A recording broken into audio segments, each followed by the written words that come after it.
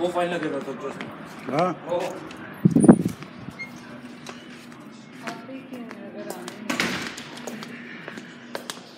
ये सभी को। सभी को कुछ काम करने का नहीं है।